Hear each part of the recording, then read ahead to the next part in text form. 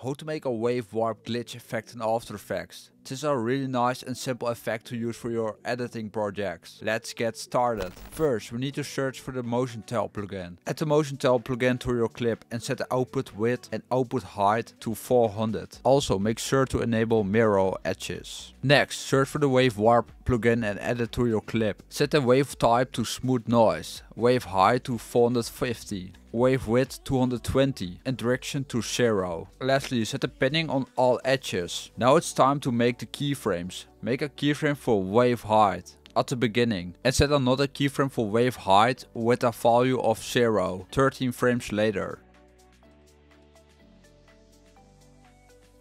Select the keyframes and make the keyframes easy ease with the shortcut F9. Follow my graph to complete the effect. Lastly, make sure to enable motion blur. There we go, now you have made a wave warp glitch effect in After Effects. This is all what you need to know. Thanks for watching this video. Subscribe if you want more tutorials like this.